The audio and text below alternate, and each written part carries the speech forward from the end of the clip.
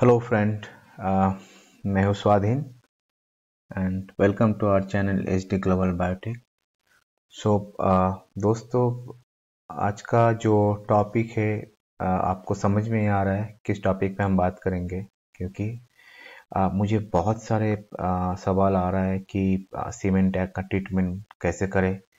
जहाँ पे भी देखो जो भी यूट्यूब चैनल देखो एक ही चीज़ सिर्फ़ दिखा रहा है उसमें गोबर और केले के पत्ता। ठीक है? तो आप, अगर आप इस पोस्ट को देखोगे तो आपका पता ही चलेगा लोगों को कितना प्रॉब्लम हो रहा है, लोगों की लोगों को कितना गुस्सा है। सबको यही लगता है कि ये बहुत इलॉजिकल रीजन है क्योंकि ठीक है, जितने भी यूट्यूबर्स बता रहे हैं कि सारे यूट्यूबर्स एक ने भी साइंटिफिक रीजन नहीं बताया कि अगर हम केले के पत्ते यूज़ करते थे, क्यों करते? हैं गोबर यूज़ करते तो क्यों करते? करना चाहिए या नहीं करना चाहिए? बस। पानी डाल दो, उसमें गोबर छिड़का दो, उसमें केले का पत्ता डाल दो। आपका टैंक का सैनिटाइजेशन ट्रीटमेंट हो जाएगा। बट मैं आपको आज बताऊँगा कि एग्जैक्टली साइंटिफिक वे में कैसे करना चाहिए और क्या करना चाहिए। ठीक है दोस्तों? तो कुछ स्मॉल स्मॉल बात उससे पहले समझ लेना चाहिए जो मैं आपको बता रहा हूँ। फ़र्स्ट है कि हम जब सीमेंट के बारे में बात कर रहे हैं ना पहले आपको जानना है कि हम सीमेंट टैंक के बारे में बात कर रहे हैं तो सीमेंट क्या है, ठीक है? तो सीमेंट वही मटेरियल है जिसमें मैक्सिमम आपका क्या रहता है ना, जिससे उसमें आपको लाइम स्टोन रहता है, कुछ क्ले रहता है, कुछ हार्डी मिट्टी टाइप का रहता है, ठीक है? कुछ सेल्स रहता है, ठीक है?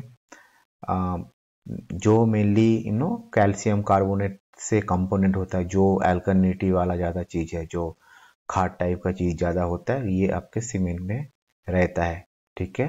आपके जैसे सिलिका सैंड वगैरह है, ठीक है? कुछ ओर्स है, और यू नो तो लाइम स्टोन के बहुत सारे चीज़ होते हैं वैरायटी तो वो सब डाल सीमेंट बनाने के टाइम में यूज़ होता है, ठीक है? मेन कंपोनेंट उसका वही होता है। दूसरे बात की है कि ये जो सीमेंट है, ये मछली के लिए टॉक्सिक किस हिसाब से है? अगर आप देखते हो ना lime is a major component of cement and concentrated dissolve easily in water soluble तो जो लाइम जो होता है आपको पता है कि ये पानी में, जो सीमेंट में जो होता है लाइम ये पानी में फटाक से आके घुल जाता है और ड्रास्टिकली उसका पीएच चेंज करता है, ठीक है? उसको एल्कनिटी पे लेके जाता है उसको खार बना देता है, बहुत स्ट्रॉन्ग खार। ग्यारह से तेरह तक लेके जाते हैं। उसके बाद मछली को प्रॉब्लम चालू होता है स्किन बर्न वगैरह, खिंचाव वगैरह चालू होता है। मछली को डिस्कम्फर्ट चालू होता है और कुछ कुछ जगह पर तो मछली मरता है, ठीक है? तो ये है मेन फंडा, ठीक है? अब तो सीमेंट को पता चलेगा सीमेंट क्या है। सीमेंट टॉक्सिक क्यों होता है मछली के लिए। दो, आपके कंसेप्ट क्लियर हो गया technically is all sorted now तीसरी बात है कि हम तो बहुत सुने हैं कि भाई केले के पत्ते, ठीक है? ये और एक रिसर्च पेपर है, जिसमें आपको क्लियरली बताया केमिकल कॉम्पोजिशन जो कैरेक्टरिस्टिक है बनाना स्टेम्स एंड लीव्स ठीक है केले का जो छिलका है एंड पत्ता है, ठीक है। ये ये जो मैं जब मैं इसको देख रहा था ना, उसमें इस टाइप का ऐसे कुछ कंपोनेंट नहीं है कि जो आपके यू नो सीमेंट के साथ बहुत अच्छे से रिएक्शन करे और उसका जो यू नो इफ़ेक्ट है उसको कम कर दे। मुझे सिर्फ़ वही सब चीज़ मिला जो आपके फाइबर कंटेंट है यू नो कार्बोहाइड्रेट है उसके बाद कुछ थोड़ा जगह पर टैनिन मुझे दिखने को मिला, कुछ परसेंटेज और थोड़ा लैक्टिक लैक्टिक एसिड बैक्टीरिया मिला, ठीक है? तो ये सब चीज़ सीमेंट के साथ डायरेक्टली कोई रिएक्शन नहीं कर पा रहा है, ठीक है? या करता है, ठीक है? तो केले के पत्ते में ऐसा कुछ नहीं है कॉम्पोजिशन जो आपको नो सीमेंट के टैंक लीचिंग में काम आए, ठीक है? अभी सीमेंट अभी केले के पत्ते भी फेल हो गया।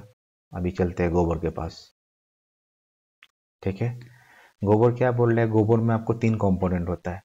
एन पी के ठीक है?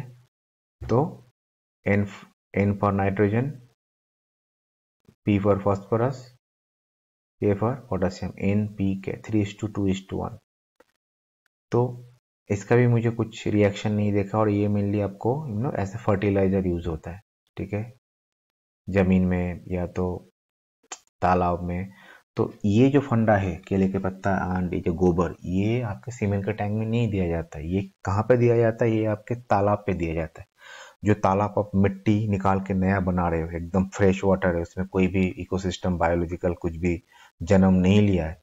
तो आप, अगर आप, होता है कि ऐसे गोबर देते हो, यूरिया देते हो, केले के पत्ते देते हो तो ये कुछ दिनों के बाद सड़ जाते हैं और एक बायोलॉजिकल सिस्टम्स क्रिएट करते हैं, उसमें थोड़े बहुत ही ना कीड़ा वगैरह आता है, उसके बाद कुछ कुछ फाइटोप्लांक्टन्स जू प्लांक्टन्स ग्रो करता है, ठीक है?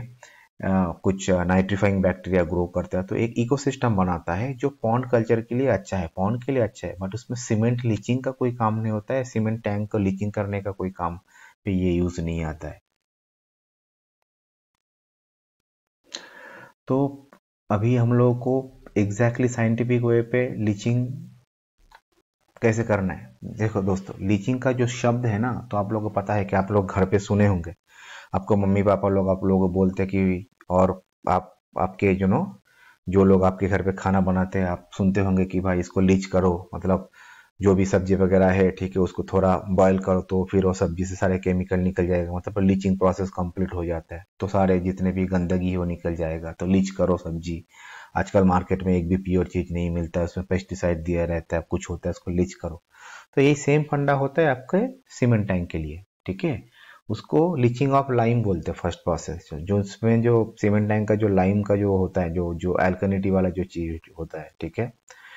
तो उसको लीचिंग करना पड़ता है। तभी उसको लीच करने के लीचिंग करने के लिए यहाँ पे कैसे कैसे क्या जाता है जनरली मैंने बहुत सारे आर्टिकल पढ़ा। एक बहुत आर्टिकल मुझे अच्छा लगा। टॉम माइक बोल के एक बंदा है जो एक्वाफोनिक में बहुत काम कर चुका है। उसने करोड़ों, हज़ारों टैंक बना चुका है सीमेंट टैंक और उसने ये लीचिंग प्रोसेस में किया था। मैक्सिमम जगह पे सीमेंट लीचिंग प्रोसेस यही होता है जो अब्रॉड में जहाँ पे होता है, बहुत सारे जगह पे। तो उसमें क्या होता है मेन आपके जो सीमेंट का टैंक है, ठीक है, उसका तो आउटलेट होगा, ठीक है? आउटलेट को आपको कस के बंद करना है, ठीक है? आउटलेट को आपको कस के बंद करना है, उसके बाद क्या होता है, आपको हाइड्रोकोलिक एसिड लेके आना है, ठीक है? लाइम के अगेंस्ट एसिड हाइड्रोकोलिक एसिड लेके आना है उसको थोड़ा सा डाइल्यूट करना है, उससे पहले आपको सेफ्टी मेंटेन करना है, आपके हाथ, मुँह, बाल, पूरे बॉडी एकदम, आँखों में ग्लास देकर पूरा एकदम पैक हो जाना है।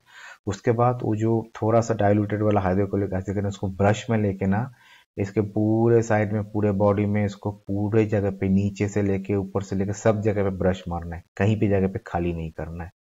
ठीक है? इसके बाद जब ब्रश जब हो जाता है पूरा, ठीक है? उसके बाद उसको दो घंटे ऐसे ही छोड़ दो। दो से तीन घंटे ऐसे छोड़ दो। तो क्या होता है? ये जो एसिड होता है ना सीमेंट के जो बॉडी का जो लाइन के साथ ना, बहुत रिएक्शन होता है। और ऐसे एकदम जैसे आप पकोड़ा पानी पे पकोड़ा तेल पे डालते हो तो जैसे थोड़ा रिएक्शन होता है, उस टाइप का थोड़ा आपको हल्का सा रिएक्शन दिखेगा। उसके बाद क्या होता है कि जितने भी लाइम के जितने भी जो भी गंदगी टाइप का है, जो मछली के लिए खराब होता है, जो जो बेस मटेरियल होता है, जो बेसिक टाइप के, जो नेचर के जो कंपोनेंट होते हैं, वो सब धीरे धीरे सीमेंट के बॉडी के बाहर के तरफ़ आना चालू होता है। ठीक है? ये दो घंटे के बाद ये सेटलमेंट जब हो जाता है ना, उसके बाद आपको क्या करना पड़ता है? एकदम ऊपर तक ऊपर तक फुल एकदम पानी डाल देना पड़ता है। आउटलेट नहीं निकालना तब भी। तो आपको क्या होता है कि आपको जो बचे, बचा कुचा जो ये जो था ना एसिड था, ये आपके पानी में आ गया और ये प्रोसेस आपको दो दिन और ये जो पानी होता है, ये दो दिनों से आपको रखना है।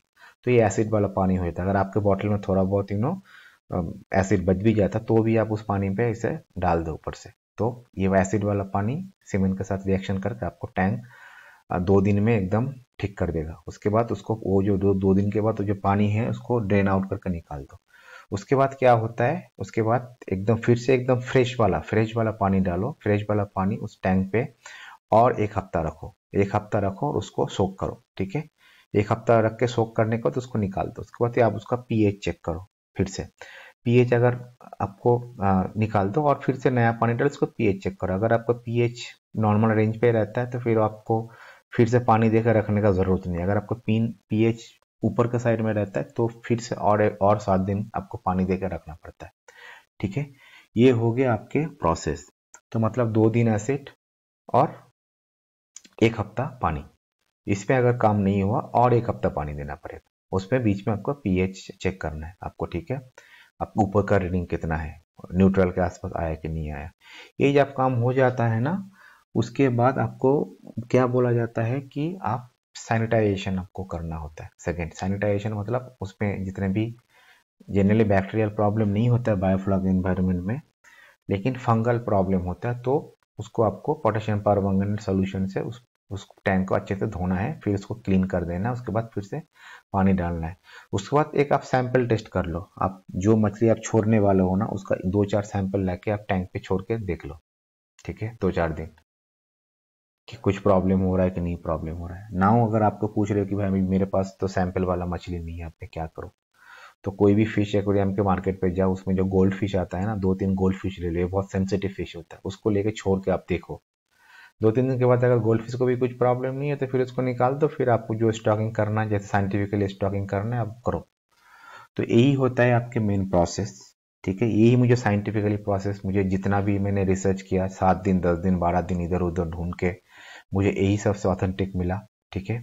और मेरे अपने टैंक में भी मैं इसी टाइप का प्रोसेस करूँगा और मैं जिसको गाइडेंस दे रहा हूँ, मैं उसको यही चीज़ फॉलो करने के लिए बोल रहा हूँ, ठीक है?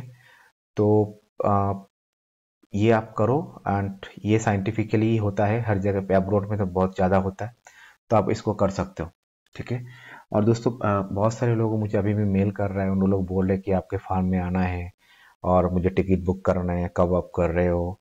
आई नो आप लोगों को थोड़ा टाइम लग रहा है आई I मीन mean, थोड़ा पेशेंस आपको जा रहा है तो आप मुझे और सिर्फ़ कुछ दिन दो दो से तीन हफ़्ता मैक्स मेरे सारे काम ऑलरेडी चालू हो चुका है। मैं चाहता हूँ कि एक बार ठीक से हो जाए फिर मैं आप लोगों को एक कोई पर्टिकुलरली सैटरडे या संडे टाइम दूँ, फिर आप लोग आके उसको देख सकते हो विज़िट कर सकते हो।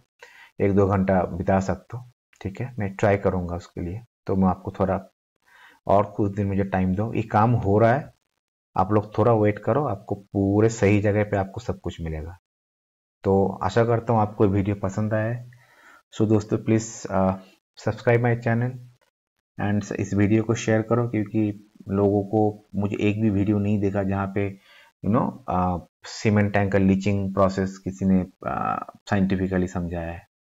So take care bye